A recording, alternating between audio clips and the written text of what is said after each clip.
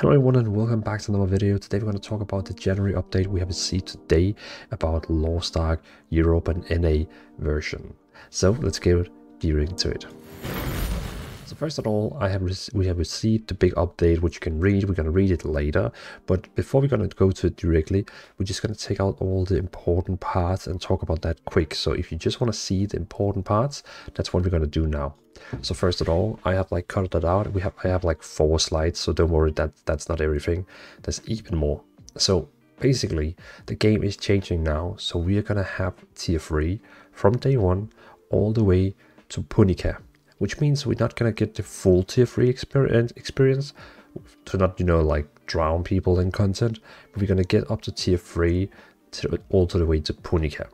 Tier 3 dungeons to Well, Chaos Dungeons stage 3. Also we're getting Velganos Guardian raid, and we're going to be able to level all the way up to level 60. Additional tier 3 content will be added post-launch to set pace of progression. So they don't want us to like be drown it in content from day one, but basically like take a relaxed step, like by step by step. But they still want to have us to go to tier three, just to like, you know what I mean. So Korean voiceover option, you can in Steam, you can like download a free DLC, which basically give you the Korean voice if you want that. Certainly early cutscenes are now skippable, and I think that they, they said basically this was uh, feedback from the community. Like a lot of people, they wanted this because they don't want to watch cinematics. So now a lot of more cinematics is skippable now if you don't want to watch cinematics. Progression speed has been balanced. I saw that in the post that they basically have balanced it out. Some people thought it was too easy. So now it's going to be more fair, we can probably say. Name restrictions, special characters like, yeah, you can see on the screen, capitalized letters other than the first letter of the name. And so that means you cannot call your character MacFly with a big M and big F. No, you can only do like capitalize this for the, uh, for the first character, uh, so the first letter. And it seems like we're not going to be allowed to spaces too. Names cannot be reused after character deletion, requires a manually process from Amazon. They will look into it for the future. So that basically means if you, if you delete your character, you will not be able to use the name again. The name is going to get locked in the database, which is a bit weird because all our MMOs basically just reset the name after you delete the character, but for some reason they don't, so I don't know why. Guild names can be up to 20 characters and character names can be up to 16 characters. Character voices options at creation, so when you create your character you can now pick between 3 and 4 different voices. Thirdly we have all founder packs content except title and free head start sta um, stack must be one of each type and not duplicate, which basically means you can actually buy the silver, the bronze, the gold, the platinum, you know, you can buy all the different founder packs and all the rewards are going to stack on each other except the ones where they're basically the same like the title is the same like the founder title and the free day head start. But all the other items you're gonna get is gonna stack on top of each other so you get like even more items.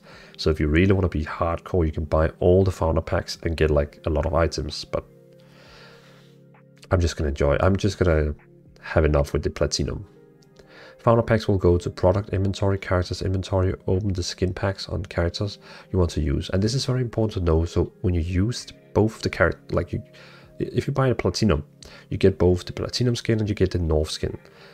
It's important you use that skin on the character you want to use it on, like your main character, because you're not going to be able to use it on other characters. So keep in mind when you open the skin that it has to be on your main character because you're not going to be able to use it on others.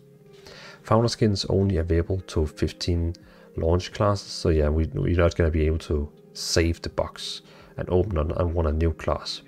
Guild leader transfer happens after 10 days of inactivity, goes to deputy of the guild. So basically, if your guild leader has been uh, inactive for 10 days, then the deputy of the guild can basically like um, take over the role. So it, it's a good thing so you don't like end up with having a guild with no people in, if you know what I mean. Timed events like uh, from Korea and Russia will come to our versions in future. So for example, there's been a lot of events where there was some like very unique skins, stuff like that. And basically saying it's going to come to us in time, you know, in time that will be added to our game too. eventually uh, because it, it is in the game. Another announcement coming next week with launch day instruction for player, a launch server list, information about weekly reset, times, the exact server open and pre-download time, and more. They will also share business model, roadmap, and patch notes before launch. It's very important to note, uh, state that they have also posted this on the forum, basically saying tier 3 content at launch is limited, that players will only get their feet wet. But this decision was made with uh, Smilegate, um, so that we can introduce Abyss Raid to the game sooner rather than later. Um, they are a unique part of Lost Ark and a big draw for players. And also a lot of people have been having the concerns that, okay, if they're going to release tier 3, that basically means they will also be able to buy gear up to tier 3, so you don't have to like grind, but you can just buy all the way up. And basically, no. They say here Power Pass will not be available at launch. So once the game releases, you actually have to play to get the best gear. So no power pass for you guys.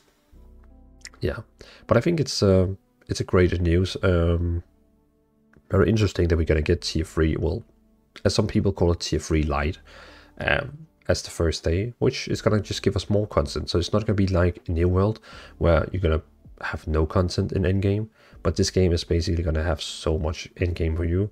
So you, you're not gonna get bored. You're not gonna get bored at all. So if you're switching over to the article they released, so the article here is basically going to contain all the same things. So if you are just watching this video for all like the main topics, you're done and you can move on now and thanks for watching. But if you want to like see what Amazon actually have like stated in the new update, well feel free to keep watching and we will go through the post together. Heroes of Arkesia, as we prepare for launch next month, we wanted to spend our January update sharing some new features, important, um, important changes we made alongside Smilegate RPG, and stemming from closed beta player feedback, and answering open questions we've seen from player forums, social medias, and in our Discord server. In the coming weeks, we'll be sharing more information on launch details, monetization, and more. New features. Before launch, we will be sharing a full list of patch notes, but we wanted to share a few planned new features that will be available at launch. So basically we're getting the Yorn region, which includes new quests, bosses, chaos dungeons and more. We're gonna get the Feiton region, which is also gonna introduce new quests, boss, chaos dungeon and more. We're gonna get the Punika region, which is gonna give an additional new quest, bosses. Release of Punika means that will be late game more late game content will be able at launch, including limited tier 3 content. Add tier 3 content. Tier 3 gear will be available at launch, as well as a few core tier 3 dungeons to support proper progression, including Oreha's Well, Abyssal Dungeon, Chaos Dungeon Stage 3, and the Velganos Guardian Raid. The combat level cap has been increased to level 60. To 60. Additional tier 3 content will be added to the game post-launch, in order to set the pace for player progression, both in terms of new content and optimal difficulty. They have basically added 173 Steam achievements from day one, but there will be even more in-game itself. Yeah, you'll find these mirror some of the achievements, although there are many more to unlock in the game as well. Character voice selection, so yeah, basically that's a new thing, so you can now choose between the different voices. And then they have done some things based on what people have said about the game. So this is all changed because of the community. Basically, you can get the new free to play, you know, the DLC. Um, so you can like hear Korean voices. Um, some of the early, ga early game cutscenes are now skippable. And they've been balancing the game so it's harder to get gear because people thought it was too easy, which I kind of feel is a bit odd. You basically want the game to be harder. Can be done. Can probably be discussed. But yeah. Another huge point of the feedback that I received during the closed beta test was many players felt like some of the game pacing and gearing was not quite challenging enough. So we worked we've worked to make balance changes to combat. This and while it once slowed you, you down early on, the in-game content will prove to be a bit more challenging for players. And then we just had like the questions like here, what is your, what names can you use for your character, stronghold and guild name? Basically again, and we talked about before, you can you cannot use special characters and you can only use like big letters in the start. And again, the, and again, the thing like if you delete your character, you cannot use the name ASAP after. So don't, you know, be careful when deleting a character because you think you can use the name again. Again, guild name up to 20, character up to 16. Characters will be able to pick voices. That's kind of like the same they just said. And here we got the news about the founder packs, which is where they say, you know, players can buy each of the founder packs will, stack, meaning that you will receive all the content purchased in each pack. The only thing that will not stack is the three day head start and the founder title.